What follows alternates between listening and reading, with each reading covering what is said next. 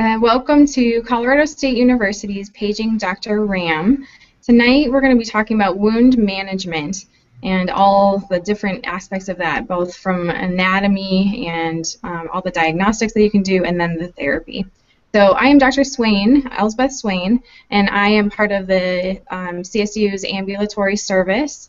And I'm here today with a wonderful group of people um, to speak to you, one of uh, whom is Dr. Luke Bass and Dr. Alicia Yoakum. So if you two would like to take a minute and introduce yourselves, and then we'll get started.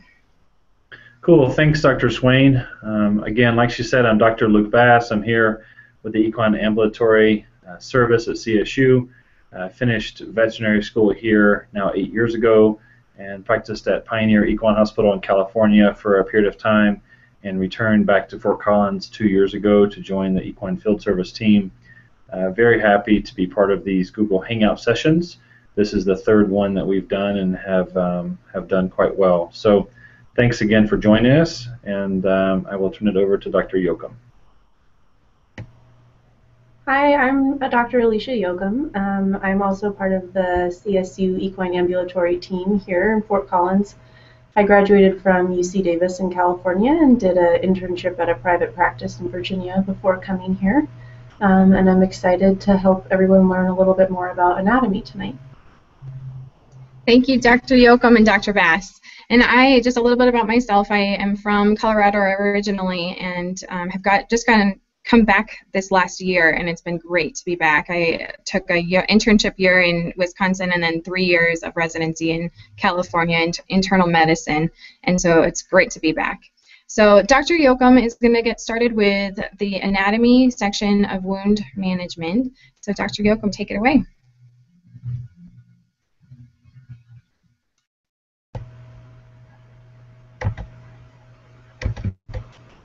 Okay, so I'm going to talk a little bit about location of wounds in your horse and why some areas might be more important than others. So we'll start with anatomy. Um, we'll just kind of show a picture of kind of some important systems, body systems in the horse before we go to specific locations.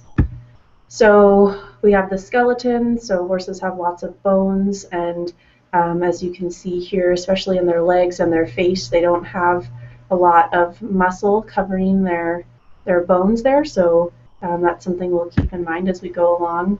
Um, muscles, horses have lots of muscles, um, and as you can see here too on their lower limbs, they don't have a lot of muscle cover um, over their bones and their tendons and ligaments.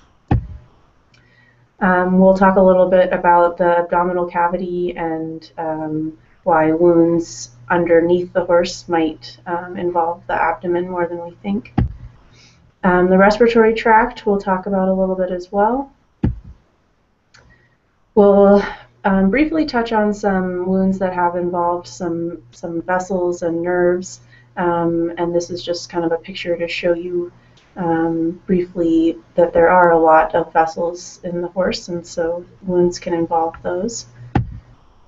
And we'll start with the head and the neck. Um, so Horses have large eyes that sit on the sides of their heads, and they like to explore things with their nose and their muzzle. And so these are a couple of locations that are commonly involved with wounds in our horses.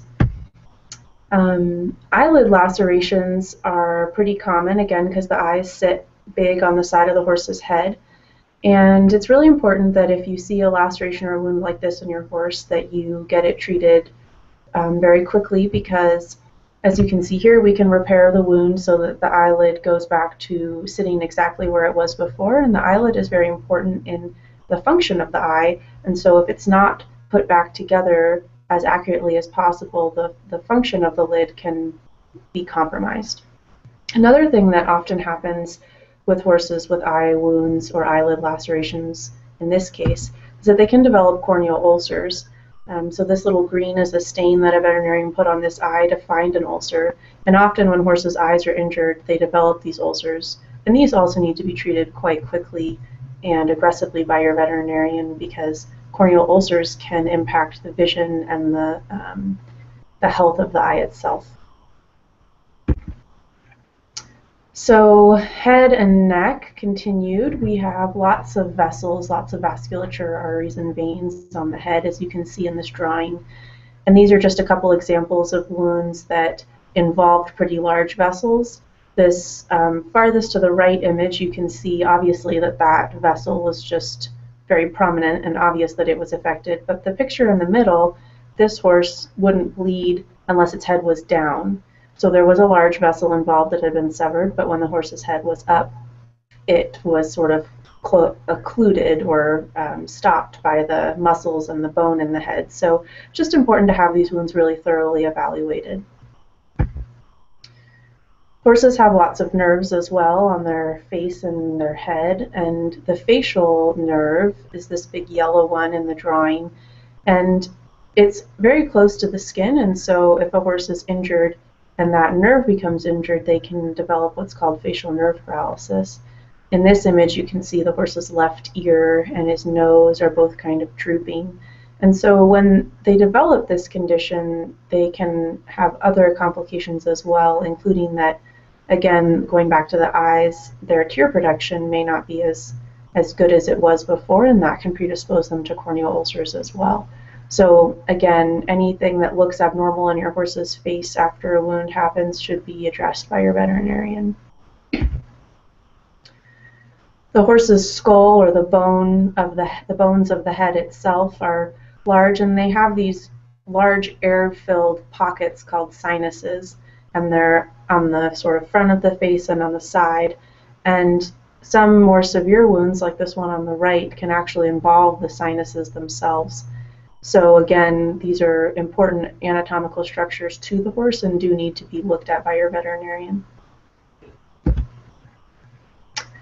The horse's trachea and the esophagus are very crucial to the to the life of your horse, and um, if they are compromised in a wound, that can be very serious and potentially life-threatening. And so I just wanted to kind of show how the trachea and the esophagus run on the underside of the neck. And so wounds that happen on the underside of the neck may be more um, more rare, but if they do occur, they can be quite severe.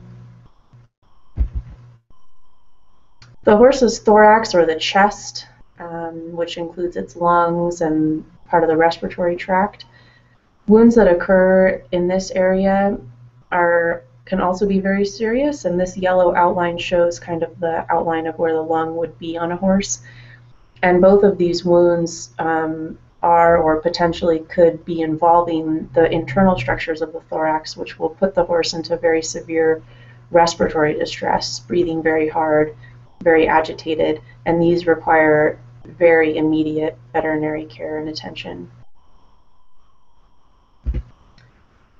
The abdomen of the horse, or basically the, the part of the horse that contains all of the intestines and gastrointestinal functions, are much closer to the skin than maybe we realize or you guys might realize. And so I just kind of wanted to show both with these pictures that um, a wound that happens on the underside of the horse's belly or up into the groin region, like in this picture with this stick, may involve the abdominal cavity itself and may potentially also penetrate into uh, intestine itself.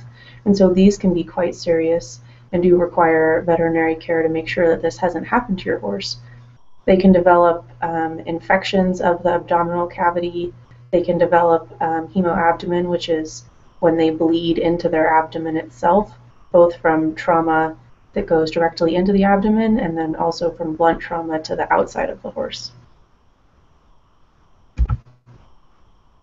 Limbs, um, as we all know, horses' legs can be quite fragile, and so we're going to talk a little bit more in depth about the bones and joints and other structures of the limbs of the horse these two images, the one on the left with all the bones is the front, all of the bones in the front leg, and then we have all the bones in the hind leg. And in this picture, I kind of wanted to show how, where the bones exactly go on the horse's legs. And so here we have the front leg bones in line with this horse, and then the hind limb bones. And so where the where the bones meet are the joints, and if we ever have a wound that goes into a joint or another synovial structure, which might be a tendon sheath or a bursa. these are um, very, need very immediate veterinary care and need to be treated very aggressively as soon as possible. Um, wounds that go into joints or bursas or tendon sheaths can wind up leading to compromise of those structures and eventual, potentially lifelong lameness. And so we want to see these as soon as possible and treat them as soon as possible. Some of the names of the joints we have on the front leg, the shoulder, then the elbow, and the carpus, which we often call the knee, um, in the upper part of the leg. And then in the hind leg, we have the stifle and the hock. The hock's also called the tarsus. Um, you may have heard that term. And then both both have the fetlock, pastern joint, and coffin joint as the lower three joints in the horse's leg. So I wanted to show some example pictures of wounds that occur in the lower limbs of horses, and these are all wounds that have involved either joints or a tendon sheath. And this first picture, this wound involves the coffin joint. In this second picture, the middle one, the wound involves the pastern joint. And this third picture on the back of the leg involves the digital tendon sheath, which there's a little drawing over here on the right that shows kind of the extent of that. And it, again, like I said, is a synovial structure. It holds the deep and superficial digital flexor tendons within it. And if it becomes compromised by a wound, that can very um, significantly compromise the horse's soundness if it's not addressed quickly. The carpus and the tarsus, again, the tarsus is also called the hock. I just wanted to show how sort of complicated these joints can be they all have multiple layers of joints, and then in the the drawings, the little green tube-looking things are more synovial structures that contain the tendons and ligaments as they run down the leg. And so any wound to your carpus or your tarsus, also called the hock, can be very serious and involve any one of these little structures.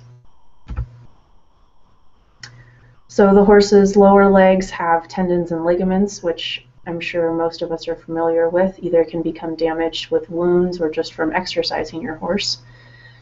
And so um, it's important to, to know the extent of how those structures have been injured as well. And then you can also see in this drawing how close the bone is to the skin surface and that there's just not a lot of muscle or anything really covering it. And so when bones become compromised in wounds, they also need to be treated aggressively and, and addressed quickly. This middle picture, this horse had a wound that compromised its deep digital flexor tendon and ruptured it, and that causes the flipped up appearance of the toe. And this last picture, this wound, maybe on superficial appearance, doesn't look very deep, but when we looked closer, it does. It looked like it involved the suspensory ligament and maybe some other other um, soft tissue structures. And then it also wound up having a fractured splint bone. So again, the bones are very close to the surface, and um, these wounds can be more significant than we might realize on first glance. Another thing that horses like to do with wounds is develop proud flesh or excessive granulation tissue. Especially in their lower limbs, they have lots of motion, they're always moving, and so when they heal, they don't have a lot of skin often to cover the wounds to start with, and so stitching them up is not always very easy. And so when they heal, they develop this excessive tissue, and it does wind up needing to be trimmed away by your veterinarian so the skin can eventually close over. And um, this middle picture is shows um, a nice image of, of proud flesh, and then the first one, that's how the wound looked on the first day we looked at it. And as it healed, it developed this bed of, of proud flesh over it. So just an example of how these wounds heal. And they kind of wind up needing prolonged care as the wounds heal over time. And then briefly, I just wanted to show a few pictures of wounds that can happen in other locations than what we just talked about, and how they may be, again, more significant than realized at first. This first wound was a stick that had got stuck in this horse's hip, and after looking at it further, we found that it had actually fractured the bone within the wound. Um, and the, the second picture shows um, a big laceration over the shoulder. There's a lot of muscle, which does heal very well, but it's a kind of a reminder picture of that in horses, oftentimes, even if we fix the wounds, there's so much movement in these locations that it can be hard for them to, to stay stitched together. And then the third picture is a horse that clamped its tail over a electric fence. And just kind of wanted to remind everyone not to forget that the tail also has bones within it, um, and that and these locations should not be ignored. Um, so with that, I will turn the, the slides over to the next lecture.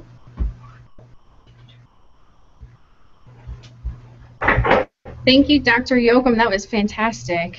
I am going to now take it to um, what you can do diagnostically for wound therapy.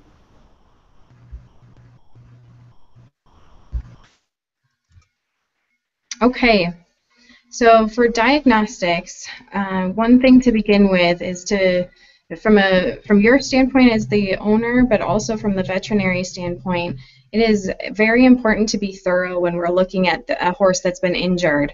You can get very distracted by the obvious and the big, larger wounds and maybe miss something that's more important and more significant. This wound um, is uh, happened over a, a knee and um, there's a tiny little puncture that has occurred um, right there, and that can be um, more significant to the horse in the long term than the wound, the larger wound on the chest.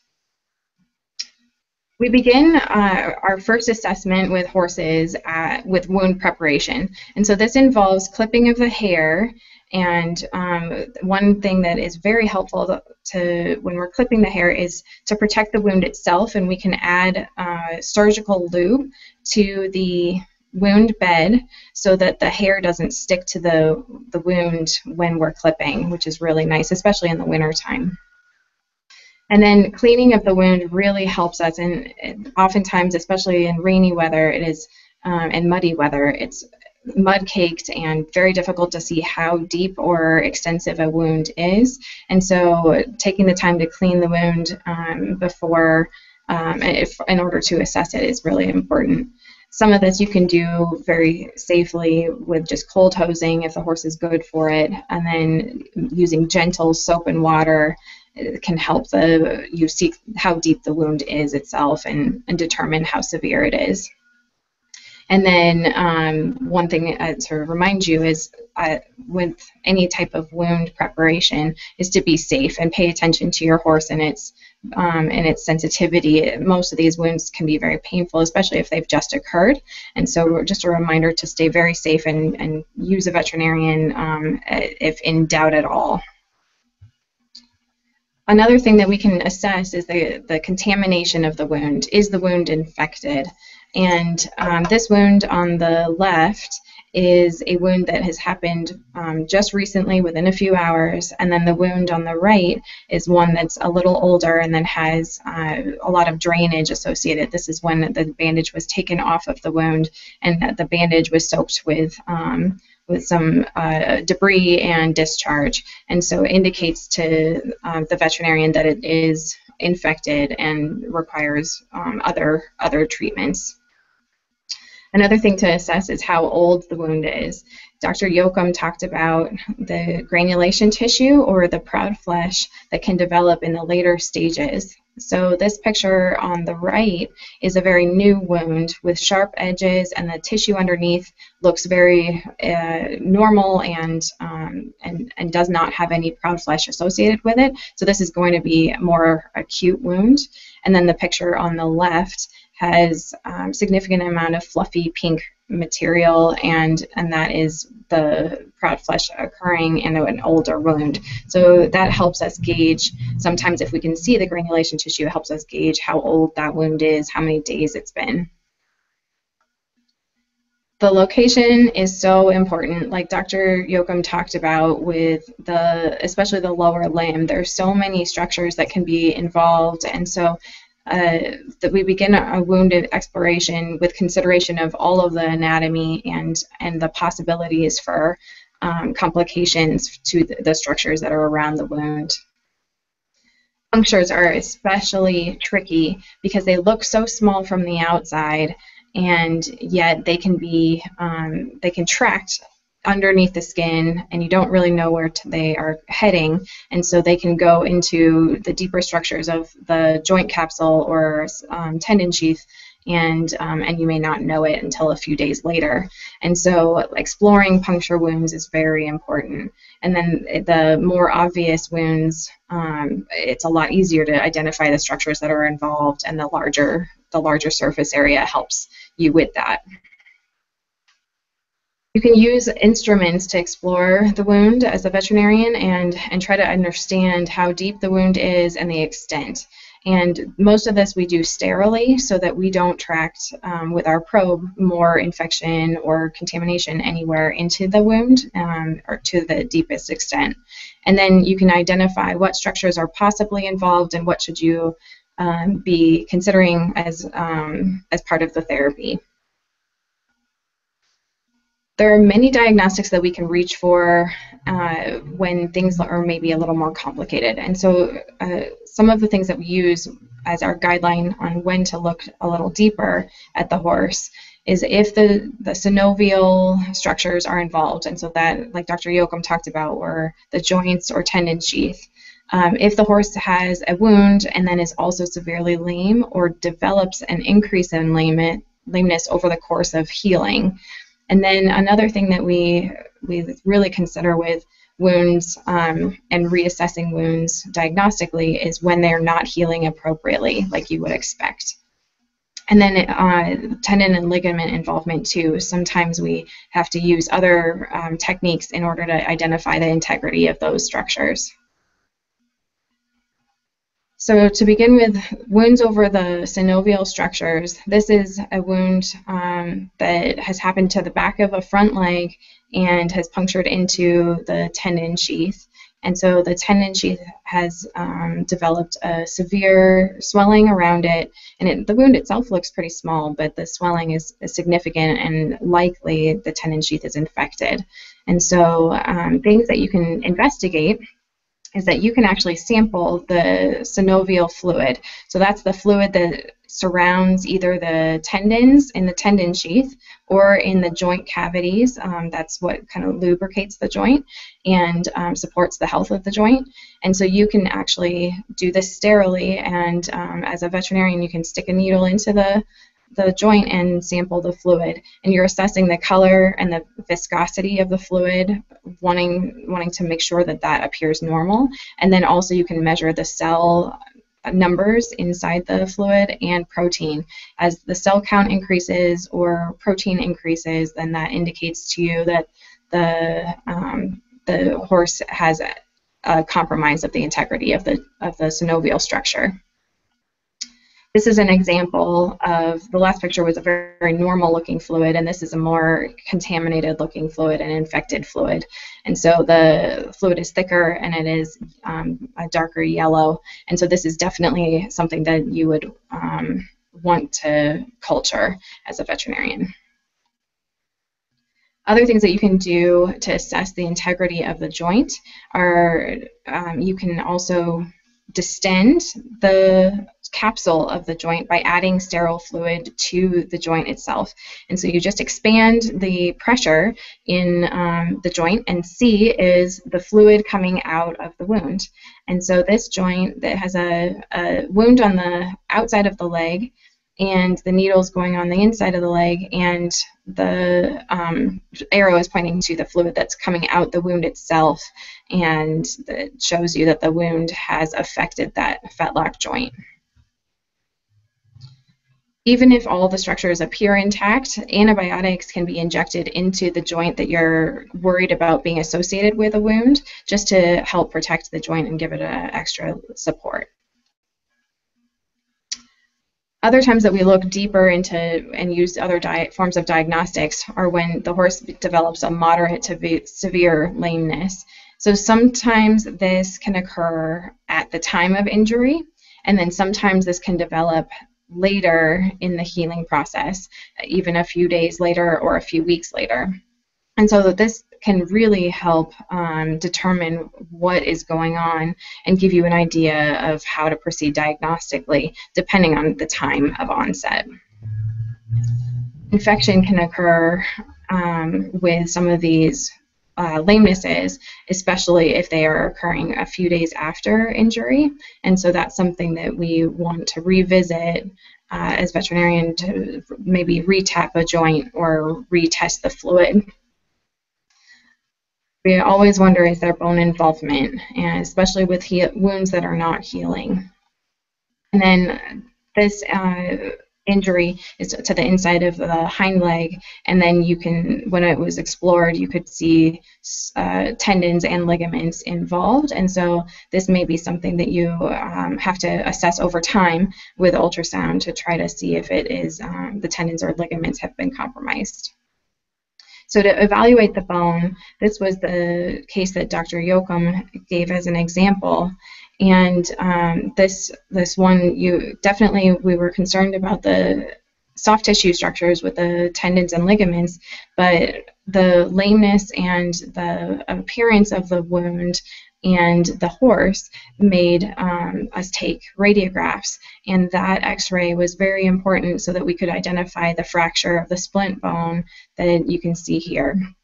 And so sometimes with the lame horses at the time of a wound, the radiographs can be extremely helpful. Other times that radiographs are used are in non-healing wounds. So this was a wound that occurred on a horse's leg um, there was a hind leg, and it was a few weeks after injury, and it was just a tiny little laceration, but it just wasn't healing appropriately. It still had a lot of granulation tissue and a little bit of drainage. So this X-ray was taken, and you can see a lot of reaction at the um, at the arrow side of the arrow, and that just is a fluffy appearance to the bone that indicates that the bone is involved, um, and it should maybe be considered as far as being infected itself, or the bone being infected, or having another problem. Other things that you can do to evaluate bone would be, in addition to radiographs, would be ultrasound. Sometimes you can evaluate the surface of the bone with the ultrasound. And then um, more advanced imaging would be CT or MRI. This is an MRI image of a bone, and that um, the the middle bone has a white patch in it, and that bone has uh, in, a lot of inflammation within that. And the X-rays were normal, and so very interesting that the um, that was the cause of the horse's lameness that just got a bone bruise. And then you can also use things like bone scan um, for more advanced or complicated cases using ultrasound to evaluate um, either the soft tissue or the bone is uh, very useful. And so this is an example of a non-healing wound that um, ultrasound was used to evaluate the surface of the bone and the, the on the picture on the right, you look at the white line running down the screen, and um, it kind of breaks away in the middle, and it should be a nice clean white line all the way through. And so there's a pocket of infection and uh, also a little uh, sequestrum of bone that has not healed down and was injured in the original injury that looked pretty superficial. Other times that you use ultrasound are to evaluate the ligaments and uh, the tendons. And sometimes we have to wait until the inflammation is quieted down, and this can be uh, up to a few weeks after the original laceration or injury, and then we can uh, assess adequately the integrity of the tendons and ligaments. So it just depends on the wound and, and the severity and how quickly that inflammation resolves.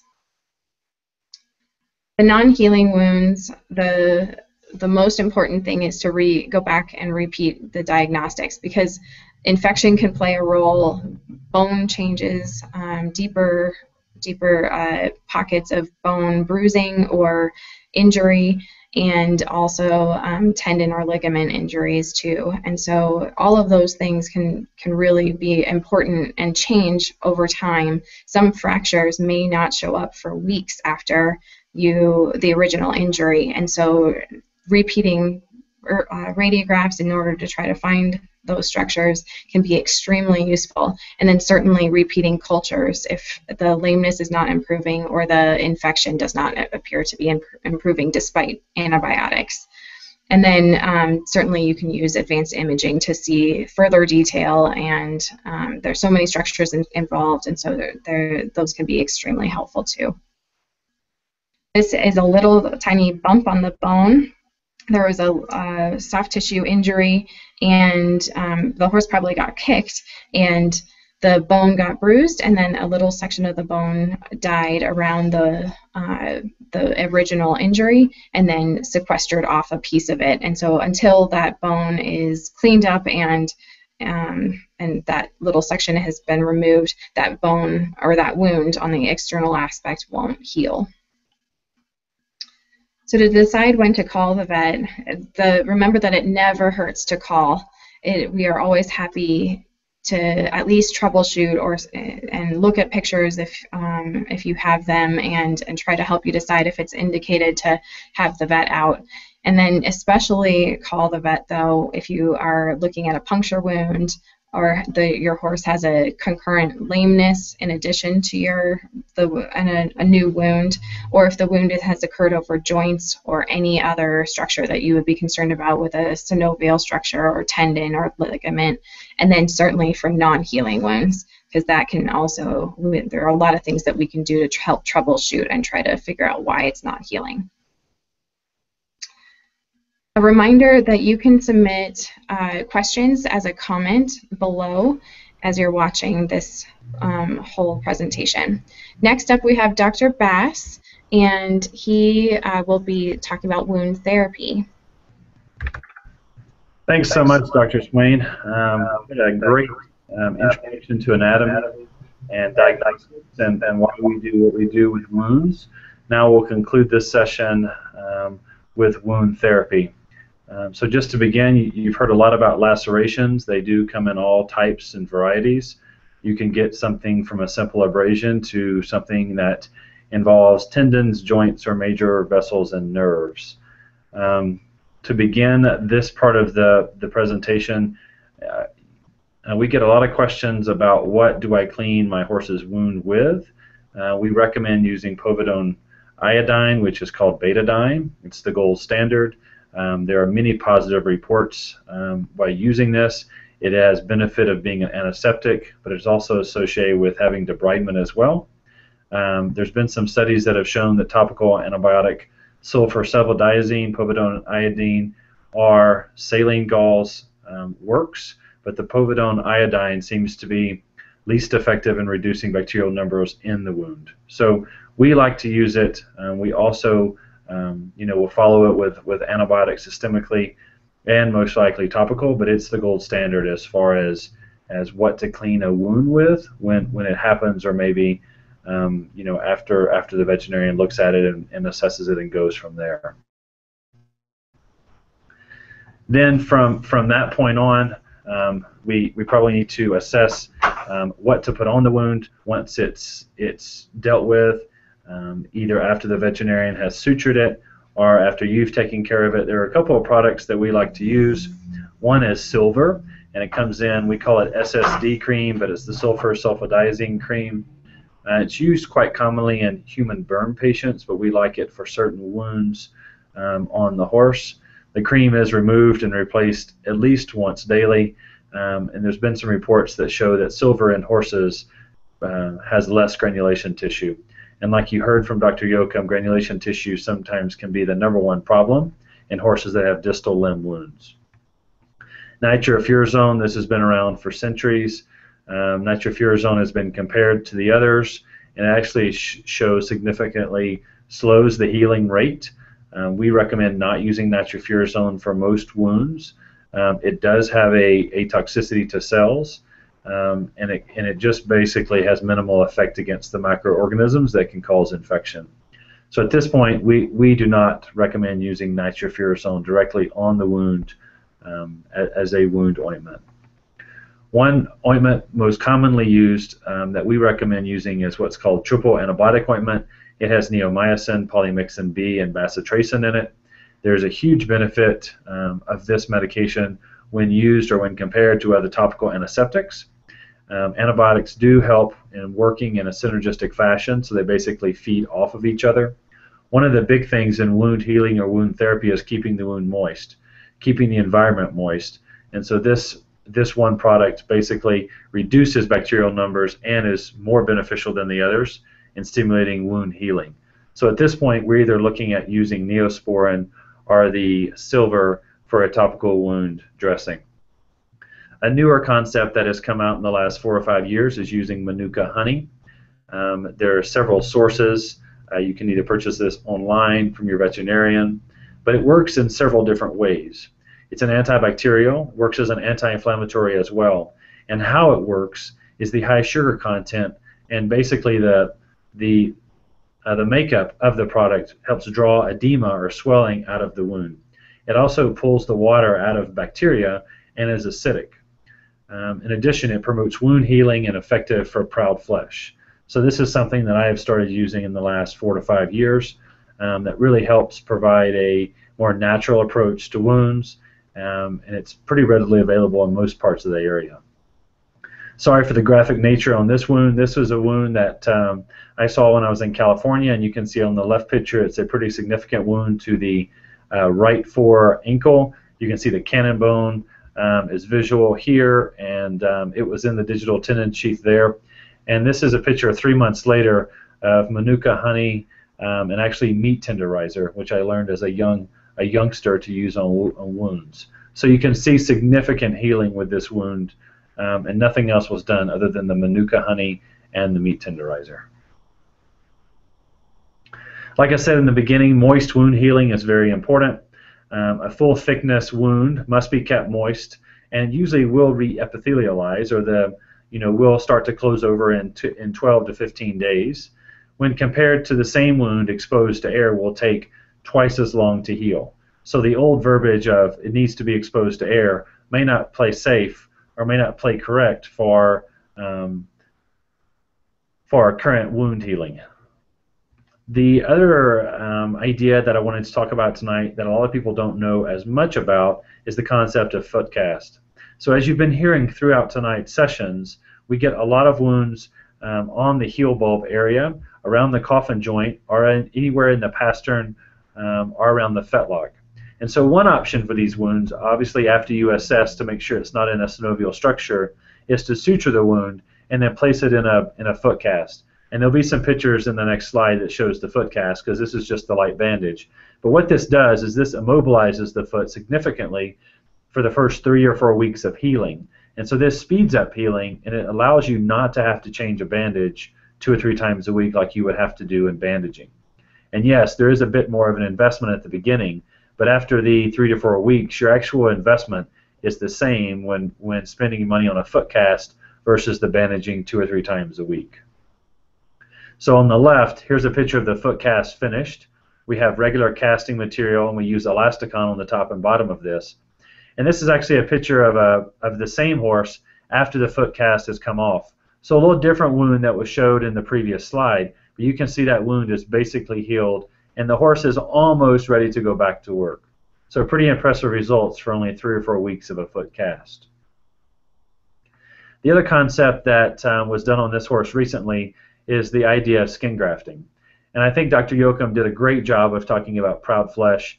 And I'm going to, if it's okay, skip over basic wound care as far as bandaging goes. I wanted to get in and talk about some of the cooler things that we can do both in the field and in the hospital here at CSU. You can see this, this mare sustained a wound to her right hind uh, cannon bone region, and this is just below the hock. You can see the cannon bone was exposed. This wound was sharply debrided um, and placed under a bandage to basically let a nice bed of granulation tissue heal over this wound. And due to the size and the time it would take to heal, the owner wanted to do skin grafting. And so we took the students down, um, did this in the field, and you can see um, this is the recipient site, and we've made some little punches in here and stuffed some little Q-tips to keep the bleeding down. And then we're going to take these take these these donor sites from just under the mane and we're going to stick them or plug them into the holes that the Q-tip is on. That was done and this is the wound about three weeks after after that procedure was done um, and the wound is actually healing quite nicely. I was just um, unable to get the picture today for a more updated picture, but you can see taking it from where we started and where we finished, it's healed quite nicely and it's it's it's done quite well. So I know we've we've touched on some ideas about wound care and hopefully we've given you some ideas about where wounds are bad, what to do with those wounds, what your veterinarian is going to do, and just a hint of what we're going to do. That this is a book that we all have. It says here for the equine practitioner, but anyone can buy this wound, buy this book. Uh, it was written by Dr. Dean Hendrickson, who is on staff here at CSU with us. It's a great resource for how to deal with these wounds, and it's a great resource for what to do if you just have questions. Um, and this is the source to get it from. Again, if, if you're not able to tune into all of this, this uh, session will be on YouTube um, for further viewing. And I think that concludes the, the presentation part of it. Um, I'll switch things over back to Dr. Swain, and uh, she can um, she can pose some questions that were asked by the audience. Thank you, Dr. Bass. That was great. Okay, so we have a couple questions that we're going to get started with today. The first is from Julie Dyer. She says, I have a gelding who has a swelling in the sheath area. I was told it could be due to lack of exercise. At what point does this become a big concern? He seems to be feeling fine otherwise, except itchy in that area. His pen has a drainage problem and has been muddy with all the rain. He was examined and cleaned out by my vet one week ago. No lumps were found, but the, there was a little discoloration noted. In your opinion, what might cause the swelling and what would be the best path to healing? So I'll answer that question. Um, there, it, it depends a, quite a bit on how old the gelding is and what breed he is. And so sometimes I, I get concerned about if it was a paint horse, about squamous cell carcinoma.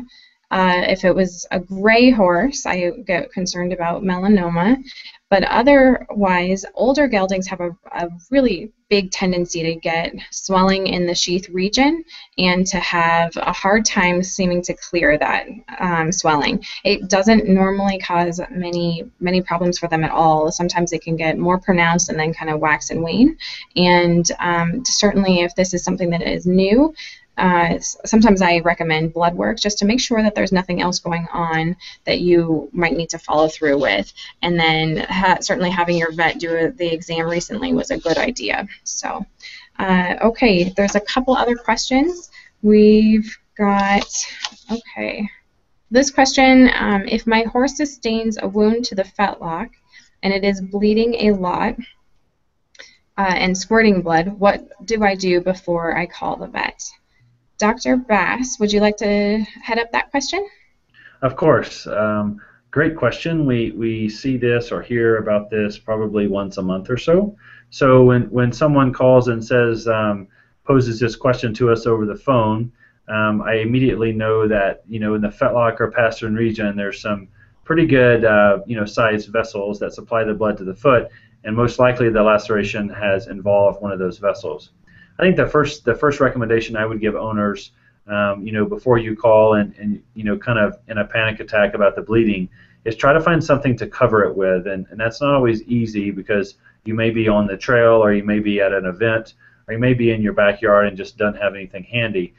But even something as simple as a, a towel um, or a t-shirt or, or anything that you can apply pressure to the area and wrap that with. It would be nice to have vet wrap or Elastikon, but if you even if you had some duct tape, just get a nice firm pressure over the area.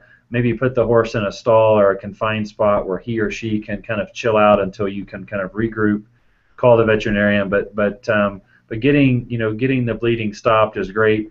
I, I don't know if I would recommend giving the horse any medication um, at that point unless they're severely painful. But I think at least um, getting compression over the wound getting a bandage on it if you have the materials, but if not, using a thick towel or something to p- apply pressure and some duct tape at the least until we get there is is a great idea. And then once we get there, then we can take it off and ligate the vessel and, and assess where where things go from there. But that is that is the recommendation I would give for that approach. Okay, thank you. Another question: uh, If my horse steps on a nail, what are the correct steps to take? Dr. Yoakum, would you like to handle this question? Sure. Um, so if your horse steps on a nail, um, the first thing that you should do is not take out the nail.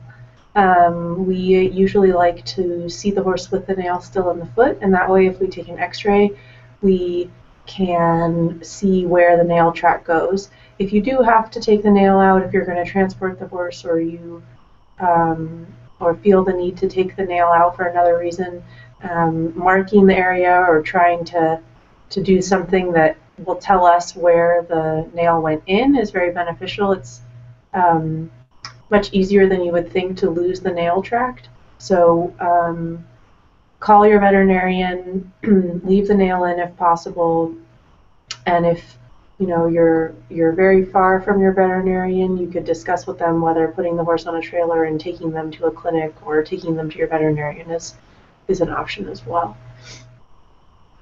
Thank you, Dr. Yoakum. Okay, another question. My horse had a wound to the digital tendon sheath area. Should I rush him to the hospital or have a local vet see it?